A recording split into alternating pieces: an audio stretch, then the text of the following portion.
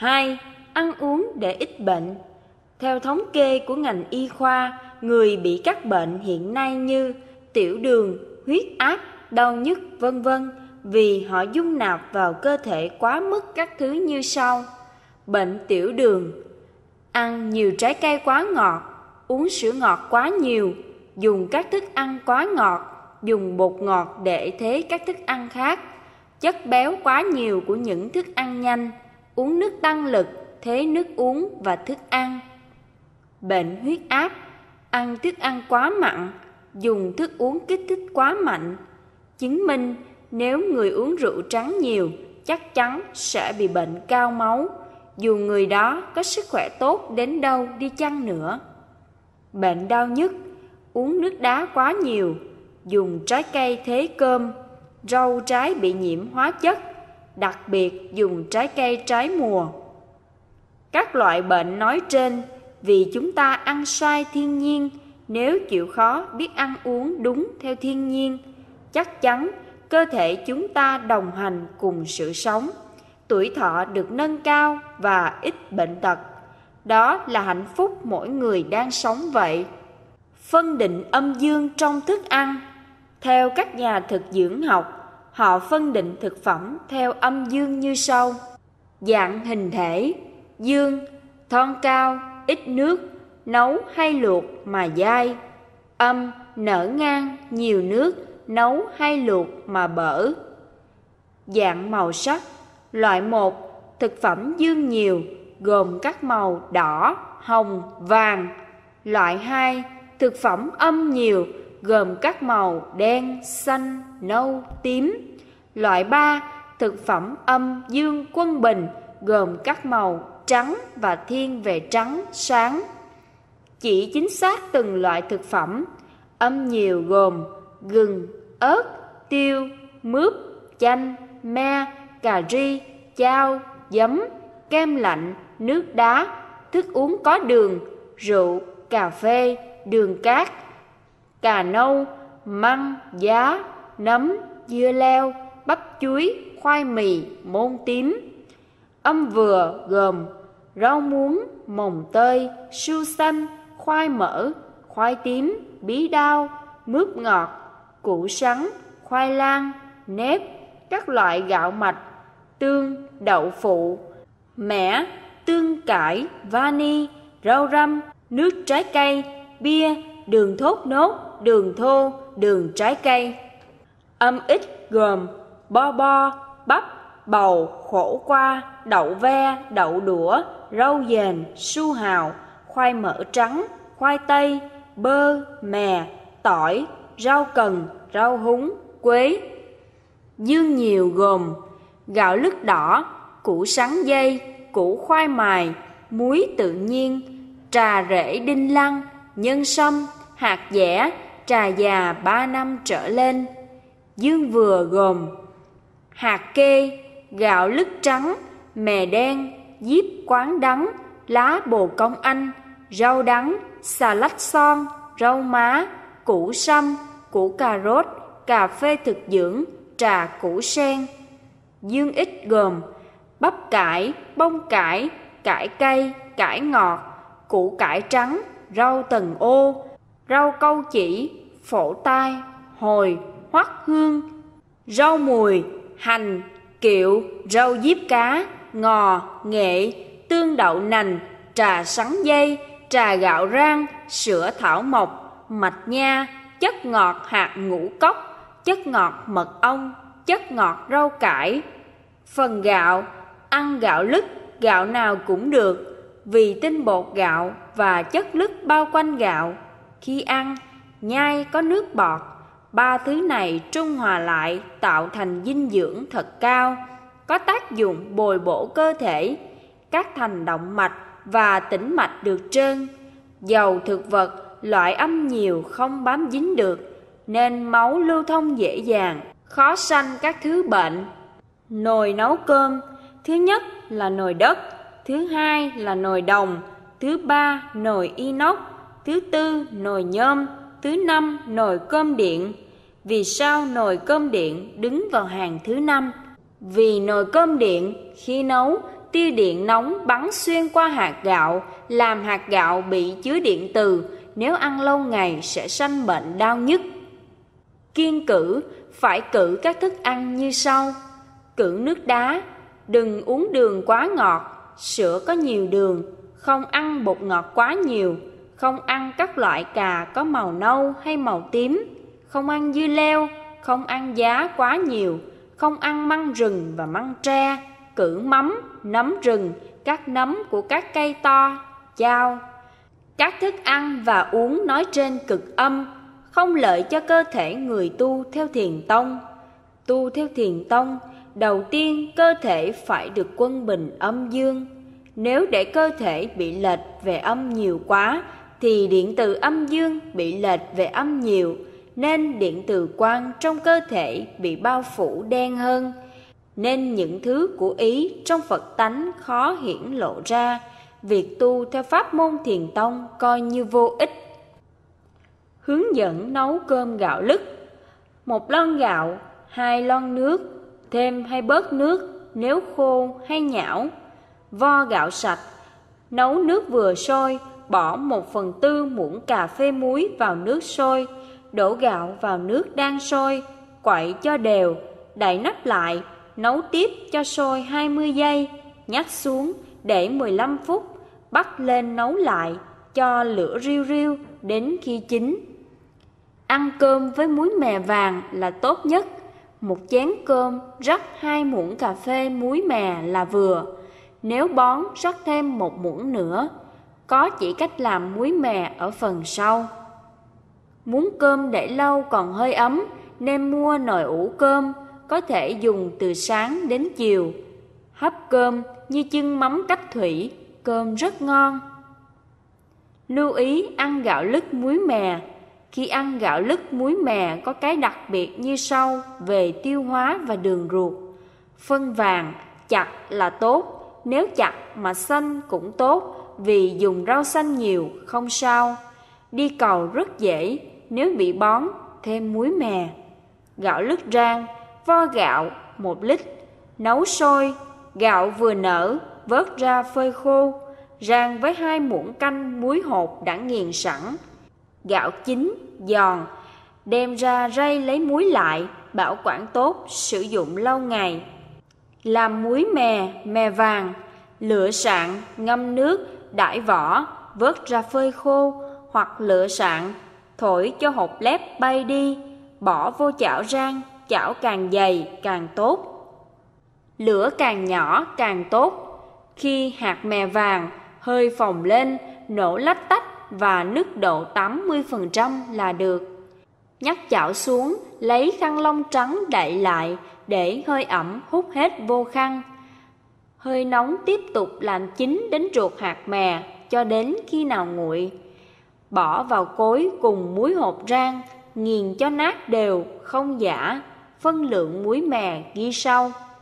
Muối mè chỉ dùng trong 4 ngày là tốt nhất, không mua muối mè đã làm sẵn vì không bảo đảm thời hạn sử dụng.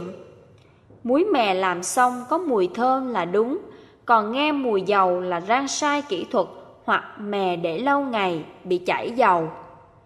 Rang muối hột, muối hột rửa sơ cho sạch cát, bỏ vô chảo gan hoặc nhôm dày, đậy nắp kín cho muối nổ, khi nào hết nổ là xong. Đem ra để nguội, nghiền cho nát, sử dụng lâu ngày. Rửa rau Lặt rau xong, ngâm nước muối, không ngâm nước tím vì có hóa chất. Rửa nước sạch lại, ngâm nước muối lại 10 phút, không rửa nước lạnh lại, mới luộc, chiên hay xào. Nấu súp cốc loại đổ ít dầu mè không khử tỏi, vừa hơi nóng, bỏ cốc loại vô, vừa xì bọt, bỏ nhúm muối vô, canh vừa ăn. Cho muối rút chất ngọt từ trong ruột cốc ra, xào cho nước ra độ một phút, châm nước vào khi chín là xong. Phân lượng muối mè Tuổi từ 30 đến 40, 30 muỗng mè, 1 muỗng muối, tuổi từ 41 đến 50, 40 muỗng mè, 1 muỗng muối, tuổi từ 51 đến 60, 50 muỗng mè, 1 muỗng muối, từ 61 tuổi trở lên, 60 muỗng mè, 1 muỗng muối. Sức bổ dưỡng, đậu đỏ 5 gram, nấu mềm chắc bỏ nước, đậu trắng 5 gram, nấu mềm chắc bỏ nước. Bí đỏ 10 gram, sắc bỏ vỏ. Phổ tai 5 gram, sắc nhuyễn. Hạt sen 5 gram. Sâm Hà Nội 5 lát, loại cứng. Sắc từng lát mỏng, người bị máu cao không sử dụng. Sáu tứ trên nấu cho thật rục, nêm muối vừa ăn. Nếu có nêm đường nên nêm ít, vì chất ngọt từ trong cốc loại tiết ra đủ làm ngọt rồi. Đây là thức ăn bổ dưỡng thật cao. Muốn thức ăn thơm ngon nên nêm tương miso có bán tại các nhà bán thức ăn thực dưỡng. Còn mua tương miso, ngoại mua tại địa chỉ số 5 đường Lê Thánh Tôn, phường Bến Thành, quận 1, thành phố Hồ Chí Minh.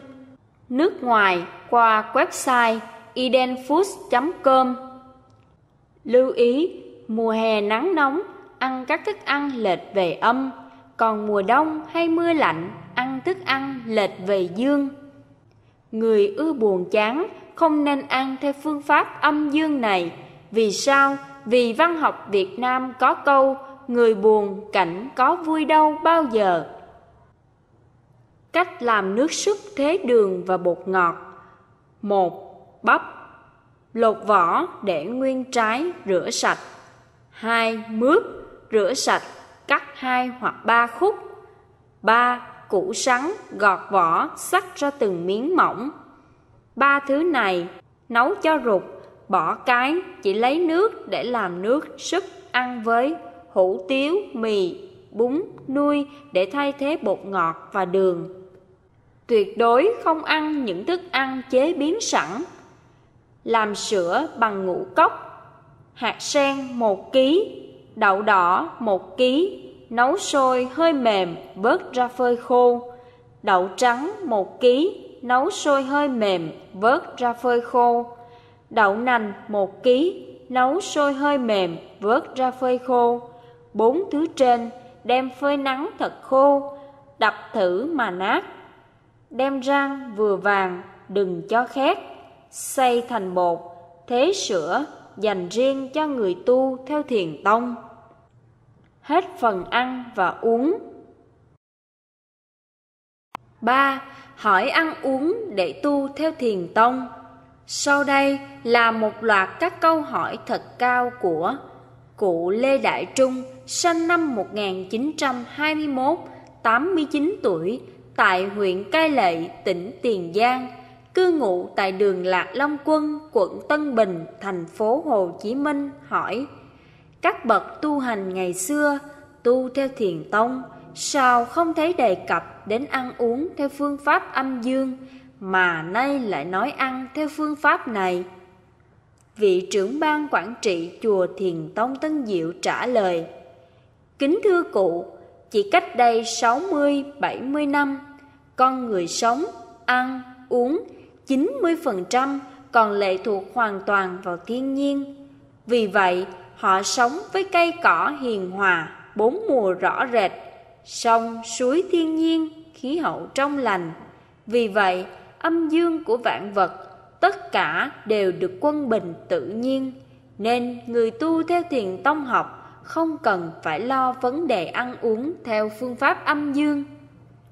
Còn hiện tại, chúng ta sống với thời đại văn minh công nghiệp cao, nên tất cả thực phẩm và thức dùng hàng ngày đều phải theo công nghiệp. Vì vậy, âm dương bị đảo lộn, cộng với khí hậu bụi bặm, sông, suối bị ô nhiễm, thậm chí mạch nước ngầm tận sâu trong lòng đất cũng chịu chung số phận với sông, hồ trên mặt nước. Do đó, người tu theo thiền tông học muốn đạt được kết quả tốt, bắt buộc cơ thể người tu theo pháp môn thiền tông học âm dương phải được quân bình. Cụ Lê Đại Trung hỏi tiếp, tu theo thiền tông học nhà Phật, cốt là để được giác ngộ và giải thoát, có liên quan gì đến âm dương? Trưởng ban đáp, Cụ biết và hỏi được như vậy là trình độ thiền tông của cụ đã hiểu rất sâu. Xin giải thích cho cụ thông.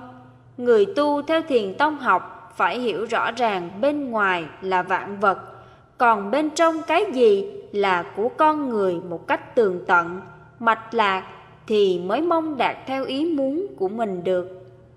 Chúng tôi xin phân tích rõ ràng cho cụ hiểu, từ vật lớn như hành tinh, còn nhỏ như con người, tất cả trong tam giới này là do sức hút âm dương tạo thành. Ai muốn vượt ra ngoài sự cuốn hút của âm dương thì người đó phải hiểu ba căn bản như sau. một Vật chất nhìn thấy hay cảm nhận được. hai Tinh thần không nhìn thấy được chỉ cảm nhận từ thô đến tế mới biết được. 3. Do vậy, người tu theo thiền tông học nhà Phật phải hiểu thật rõ về nguyên lý âm dương để khi thấy những hiện tượng ấy xảy đến, biết mà thực hiện cho đúng để vượt qua. Do đó, âm dương được liệt vào một trong ba cái chánh của người tu theo pháp môn thiền tông học phải nắm cho thật vững thì mới mong thành công được. Cụ Lê Đại Trung lại hỏi, tại sao trong các kinh điển nhà Phật không đề cập đến âm dương sanh? Trưởng ban đáp, thời Đức Phật còn tại thế, có nhiều môn đồ cũng hỏi Ngài vấn đề nguyên do sanh ra con người và vạn vật. Đức Phật nhận thấy dân trí lúc đó chưa hiểu về khoa học nhiều, tất cả những sự tin tưởng của con người Họ tin tuyệt đối vào đấng tạo hóa và thần linh, nên Đức Phật không giảng giải. Đức Phật thấy đời sống con người quá ngắn ngủi, nên có đưa ra hai chỉ dạy ngắn gọn như dưới đây để các môn đồ của Ngài biết mà tu hành. Cốt yếu là nhận ra Phật tánh của chính mình, sống với Phật tánh ấy để không còn bị sanh tử luân hồi nữa. Nếu ai nhận ra Phật tánh của chính mình rồi, tự nhiên những chuyện lặt vặt như vậy họ tự biết rất rõ ràng không cần phải học hỏi. Đức Phật có dạy thêm, sau này khi dân trí con người hiểu sâu về khoa học, tin tức bất cứ ở đâu trên thế giới này gần như trong một chợ, lưu thông được như chim bay. Ai có duyên lớn đọc được các kinh điển mà Như Lai dạy sau cùng, nếu người đó đạt được yếu chỉ sâu màu của Như Lai dạy và biết lộ trình đến Phật tánh, người đó sẽ giải thích về nguyên lý âm dương cho ai thắc mắc. Hai lời dạy của Đức Phật như sau. Thứ nhất, con người hay vạn vật có mặt trên địa cầu này có ba nguyên nhân chính. Một, nhân duyên sanh. Hai, nhân quả công bằng. Ba, sức cuốn hút của vật lý âm dương mà tạo thành. Tuy Đức Phật dạy ngắn gọn như vậy, cách đây đã trên 2.550 năm rồi, nhưng hiện nay lời dạy ấy vẫn được những người có đầu óc thực tế công nhận là rất khoa học, không sai chút nào.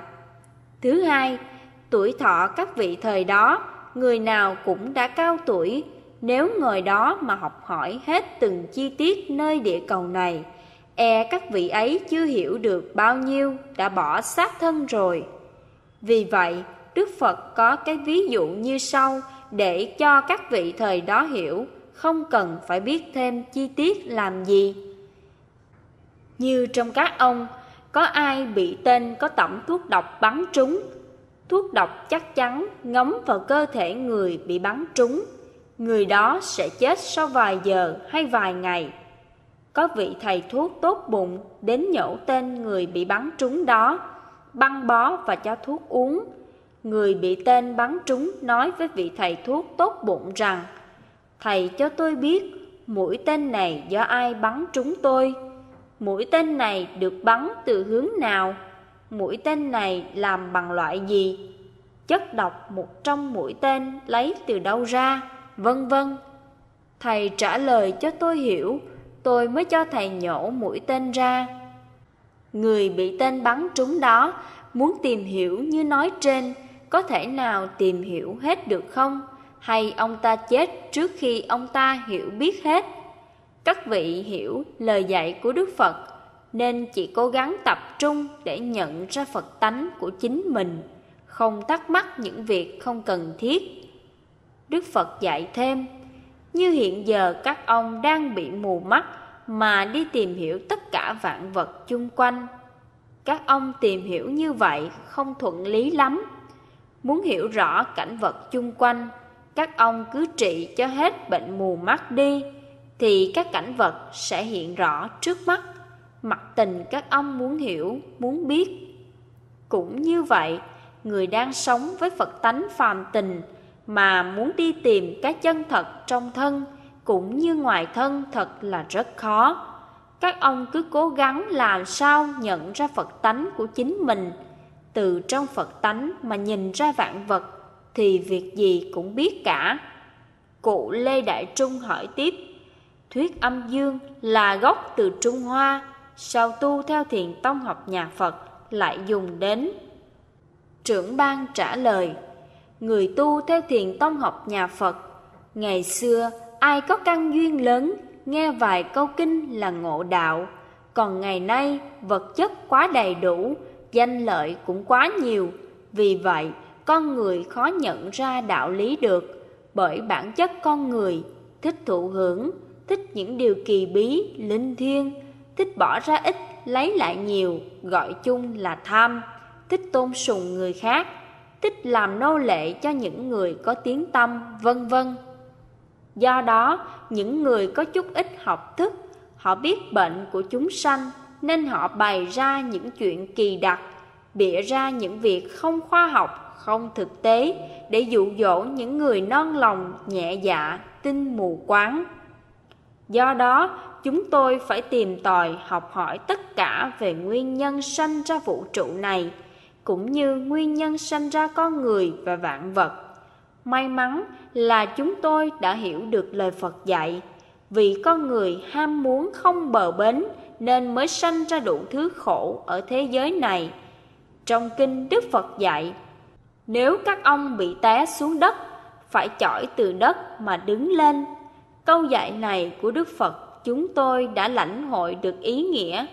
Các ông sanh ra bởi âm dương, nếu muốn thoát khỏi lực hút của âm dương, thì các ông phải hiểu sự vận hành của âm dương và tránh lực hút của nó thì các ông mới có thể vượt ra được. Vì vậy, chúng tôi phải nghiên cứu về âm dương. Nay chúng tôi đã thấy được mấu chốt, nên khuyên người tu theo thiền tông học phải làm sao cho cơ thể mình khỏe mạnh theo nguyên lý âm dương thì sẽ có kết quả dễ hơn. Cụ Lê Đại Trung lại hỏi, xin cho vài ví dụ âm dương hình thành, diệt đi và làm sao giải thoát ra khỏi âm dương. Trưởng ban trả lời, câu hỏi của cụ tuy ngắn gọn, muốn trả lời tuyệt ý câu này, chúng tôi phải dẫn chứng hai phần như sau. Một, về hành tinh chúng ta đang sống cấu tạo bởi một đất chất cứng, hai nước chất ướt, ba gió không khí, bốn lửa nóng, năm điện sáng, sáu hành chuyển động. Chuyển động này nó lại chuyển động hai chiều trái ngược nhau, tạo thành hai cực đối kháng, nên làm đất, nước, gió, lửa, điện phải chuyển theo nó, tạo thành một lực chuyển động khủng khiếp của hai cực mà các nhà hiền triết gọi là vận hành của âm dương. Vì vận hành của âm dương nên vạn vật trên thế giới này mới có sanh ra như chúng ta đang thấy. Từ trung tâm điểm chuyển động ra ngoài theo chiều xoắn ốc, ngược kim đồng hồ gọi là dương. Cũng từ ngoài chuyển động hút vào trung tâm điểm theo chiều xoắn ốc thuận kim đồng hồ vào trong gọi là âm. Hai chiều âm dương này được lý giải như sau. một Âm hút vào để các hình thể dính cứng lại. hai Dương đẩy ra để cho vật thể không va chạm với nhau. Vì vậy, khi âm dương hút cứng với nhau sanh ra vạn vật, sự cuốn hút của âm dương với nhau tùy theo lớn hay nhỏ. Nếu chạm nhau nhẹ, sanh ra nhỏ, chạm với nhau mạnh, sanh ra lớn nhưng phải triệt để tuân theo quy luật của âm dương. Bởi vậy, chúng ta thấy tất cả động vật hay thực vật nhìn kỹ sẽ thấy lớn khủng khiếp như điện âm dương ở trong không trung. Nếu vận hành ngược chiều nhau mà không chạm với nhau thì không phát sanh. Còn nếu chạm với nhau sẽ phát sanh ra tiếng nổ gọi là sấm sét. Còn động vật như loài người loài cầm thú cũng phải tuân theo quy luật cuốn hút của âm dương. Nếu âm dương di chuyển không chạm nhau thì thôi, chạm nhau nhẹ sẽ có cảm giác tốt hoặc xấu. Còn thật sự chạm với nhau mạnh sẽ sanh ra con. Nói tóm lại, âm dương sanh hóa và chi phối tất cả vạn vật ở thế giới này. Đó là nói hẹp, còn nói rộng là trong càng khôn vũ trụ này. Dù là động vật hay thực vật cũng phải tuân theo quy luật của âm dương cả. Vì vậy, con người được hình thành phải qua công thức âm dương, chứ không có phương pháp nào khác. Ai nói có công thức nào khác là không thuận lý lắm. Hình thành một hành tinh. Được hình thành một hành tinh mới, phải có rất nhiều mảnh vỡ của vô số hành tinh đã hết tuổi thọ bay trong không gian hoặc hành tinh nào đó. Bị con người hủy hoại bằng cách là cho nổ tung hay hành tinh đó đã bị lấy hết khoáng chất, không còn khả năng tự cân bằng âm dương, nên bị tan rã, bay vào không gian. Các nhà khoa học gọi những mảnh vỡ ấy là bụi không gian. Số bụi không gian không thể tính hết đó, cứ bay lơ lửng ở trong không gian nếu nó bay đến chỗ trung tâm vận hành khủng khiếp của âm dương, các nhà khoa học gọi là sức hút lỗ đen của vũ trụ. Tức thì, nó bị lực chuyển động thuận và ngược chiều với nhau của âm dương, tạo thành một khối tròn. Khối này ban đầu nhỏ, dần dần cả tỷ năm bị xoe tròn cho đến khi nào lớn bằng địa cầu chúng ta, hoặc nhỏ hơn hay lớn hơn gấp nhiều lần khối tròn ấy được kết thành bởi nhân duyên do âm dương xoay chuyển tạo ra. Khi đúng với nhân quả của nó rồi, tự nó văng đến một nơi nào thích hợp và cứ xoay tròn và vận hành theo cụm các hành tinh mà các nhà khoa học gọi là chùm hệ thái dương. Một ngàn hệ thái dương nhân cho một ngàn, số ra này là tiểu thiên thế giới mà đức phật dạy trong kinh số hành tinh của tiểu thiên thế giới. Nhân cho một ngàn nữa, số ra này là trung thiên thế giới. Số trung thiên thế giới nhân cho một ngàn nữa là đại thiên thế giới. Ba lần nhân đó gọi là tam thiên, đại thiên thế giới, mà Đức Phật dạy là trong càng khôn vũ trụ mênh mông bao la này, có hàng hà sa số tam thiên, đại thiên thế giới không thể đếm hết được. Còn lỗ đen trong vũ trụ các nhà khoa học bảo cũng không biết là bao nhiêu vì quá nhiều. Lời giải thích của Đức Phật nói trên, vạn vật hay loài người có mặt ra đây là do âm dương tạo thành. Vì vậy, muốn tìm đường ra tất nhiên phải hiểu rõ nguyên lý âm dương mới ra được còn không hiểu chúng ta cứ loay quay mãi trong âm dương trên đây là sơ lược hình thành của một hành tinh còn muốn hình thành một con người hay động vật thì sức hút của âm dương cũng phải mãnh liệt mới tạo thành được phần này chúng tôi nói ít cụ tự hiểu nhiều 10. Tại sao tu theo thiền tông quan trọng ăn uống? Cụ ông Diệp Bá Thành sinh năm 1931, 79 tuổi, tại huyện Cái Bè, tỉnh Tiền Giang hỏi Ngày xưa rất nhiều người tu theo tiền tông học Nhưng sao họ không quan trọng đến thức ăn Mà ngày nay chúng ta lại quan tâm đến thức ăn như vậy? Trưởng ban trả lời Xin thưa với cụ Ngày xưa cây cỏ hiền hòa, suối nguồn tinh khiết, đất đai màu mỡ, phì nhiêu, khí hậu trong lành bốn mùa rõ rệt, nên họ sống đúng với thiên nhiên. Vì vậy, việc ăn hay uống của người xưa rất phù hợp với thiên nhiên, nên không phải mắc bệnh này, bệnh nọ như chúng ta đang thấy hiện nay. Còn chúng ta hiện nay sống với thời đại văn minh công nghiệp cao nên thực phẩm cũng phải theo chân công nghiệp. Do đó, tất cả ăn uống bị nhiễm rất nhiều hóa chất độc hại. Hít thở không khí bị ô nhiễm, sinh hoạt hàng ngày phải chạy theo máy móc. Vì vậy, thực phẩm không thể nào còn ở bình thường của thiên nhiên được. Cộng với sự hám lợi và không có lương tâm của những nhà sản xuất, họ đưa những hóa chất độc hại vào thực phẩm để người tiêu dùng bị bệnh mà không biết tại sao. Hiện nay, chúng ta thấy nhà thương nhiều hơn trường học là vậy. Nước uống tinh khiết mà có vi trùng, nước tương sạch mà có hóa chất độc hại, sữa bú cho trẻ thơ mà có hóa chất melamin quá nhiều, không nói đến những trái cây không phải mùa của nó mà lại có. Muốn trồng cây không phải mùa của nó mà có trái, người ta phải dùng hóa chất để đảo lộn thiên nhiên. Thử hỏi, tất cả thiên nhiên đều bị đảo lộn thì thể xác con người chúng ta có chạy theo kịp không? Hay chúng ta sẽ bị hóa chất tàn phá rồi sanh ra đủ thứ bệnh trên đời? Chúng tôi còn nhớ rất rõ, ông bà cha mẹ chúng tôi đời sống về vật chất, họ rất thiếu thốn, ăn uống rất kham khổ, nhưng không khi nào họ bị bệnh cả. Nếu có bệnh là bệnh cảm thôi, họ dùng lá cây nấu để xông hơi là hết cảm, chứ họ không uống một viên thuốc nào, còn nhà thương đối với họ coi là xa lạ. Như nói ở trên, người muốn tu theo thiền tông học phải biết cách ăn uống hợp với thiên nhiên, chỉ có trở về với thiên nhiên mới đưa cơ thể chúng ta trở về trạng thái âm dương cân bằng được. Cơ thể được cân bằng thì bệnh tật khó mà phát sinh ra, thì việc tu theo thiền tông học không trở ngại. Người tu theo thiền tông quan trọng nhất là cơ thể. Nếu cơ thể người tu được cân bằng âm dương rồi, coi như việc tu theo pháp môn thiền tông đạt được 50% kết quả. 11.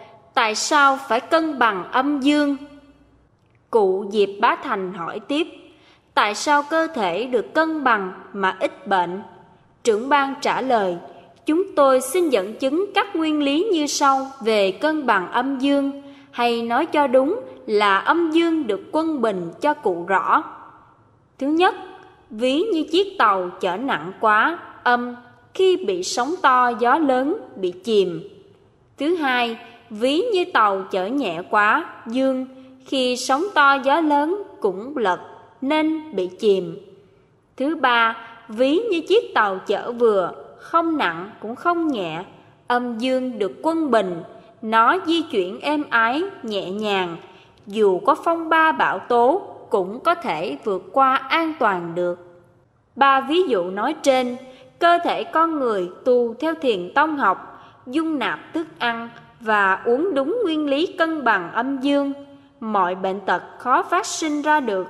Nếu có hoàn cảnh xấu nào phát sinh ra, luật âm dương cũng có thể giúp người tu vượt qua một cách rất dễ dàng. Thực phẩm thiên nhiên và thực phẩm độc hại Chúng tôi xin dẫn chứng theo khoa học. Nếu ai sử dụng đúng thì ít sanh bệnh. Người tu theo pháp môn thiền tông học có kết quả rất tốt nhất. Hệ thống tim mạch của chúng ta ví như sông ngòi trên mặt đất. Khi hệ thống sông ngòi bị ô nhiễm vì hóa chất, cỏ cây chung quanh sẽ bị úa vàng, èo uột. Cơ thể của chúng ta cũng vậy. Nếu bị nhiễm hóa chất độc hại bởi những thức ăn, thức uống, thì các tế bào ốm yếu, bệnh tật hiện răng bên ngoài. Con người gầy còm, yếu đuối, xanh xao, chỗ nào nặng sẽ sanh viêm nhiễm hay ung thư, vân vân. Vì lẽ đó, người tu theo pháp môn thiền tông học Phật giáo phải hiểu cách ăn uống đúng theo phương pháp âm dương thì việc tu theo thiền tông học mới có kết quả tốt được. Đây là điệp khúc thứ hai. Khi cơ thể con người được quân bình âm dương rồi, có những trạng thái như sau. Nghe ăn vui, nghe người yêu đời thêm, không bợp chợp, không tranh cãi, không thích hơn thua, không ham thần quyền, không sợ thần linh, không bày biện cầu kỳ, không mê hoặc người khác. Không làm sai các kinh sách do Đức Phật dạy, không đem tin lầm vào đạo Phật, vân vân. Đó mới chỉ là cân bằng âm dương mà đã có những trạng thái như vậy. Chứ người đã nhận ra Phật tánh của chính mình rồi, các sự việc trên sẽ tăng lên rất nhiều lần mà người đời thường không khi nào biết được. Người tu theo tiền tông học, họ xem các nhà bác học, khoa học, triết học Đông phương, triết học Tây phương là những nhà trợ duyên giúp cho họ tìm về cái chân thật của vạn vật trước mắt. Các nhà nói trên, họ khẳng định duy nhất một điều, vạn vật trên trái đất này tất cả đều do duyên hợp mà có, khi hết duyên nó tự tan rã, chứ ngoài ra không có nguyên do nào khác. Các vị ấy không ngồi tranh cãi, con gà có trước hay là quả trứng có trước, vì đây là câu hỏi rất sai lầm, thật là sai lầm. Cũng có thể nói, câu hỏi ngớ ngẩn này buộc người bị hỏi phải ngậm miệng, xem người hỏi nọ không phải là người có học thức. Còn về tinh thần của người tu theo thiền tông học mà nhận ra được Phật tánh, họ có những ưu điểm như sau. Tham không bộc phát, sân không nổi dậy, si không phát sinh, mạng không phát ra, nghi không sanh, ác không trỗi dậy, kiến không chấp thường cũng không chấp đoạn, vân vân. Nói tóm lại, tất cả những thứ trên họ cũng có, nhưng nó được nằm trong tâm vật lý của họ, nhưng họ không sử dụng đến nên các thứ trên không khởi. Vì chỗ họ biết cái gì là của Phật tánh, cái gì là của tâm vật lý, họ biết rõ ràng như vậy nên con người họ rất thanh thoát. Người này họ có cái nhìn hết sức tuyệt mỹ, hết sức khoa học, hết sức thực tế, không tưởng tượng, không đề cao ai, không lệ thuộc vào ai, nhất là không quỳ lụy ai. Nói tóm lại, họ nhìn cảnh đời chung quanh cũng như bao nhiêu người khác. Có khác chăng, họ nhìn với đôi mắt không lầm lỗi, đôi tai không sai lệch, vân vân. Chứ đừng tưởng khi họ nhận ra Phật tánh rồi, họ sẽ có phép này, huyền cơ nọ, vân vân. Đây là một sai lầm lớn của những người hiểu sai về thiền tông học nhà Phật. Những chuyện chúng ta thấy trong phim ảnh là những chuyện tưởng tượng của đạo diễn ấy thôi. Họ làm phong phú để thỏa lòng trẻ con. Còn chúng ta là người lớn phải nhìn sự vật chung quanh bằng đôi mắt thực tế và khoa học mới phải.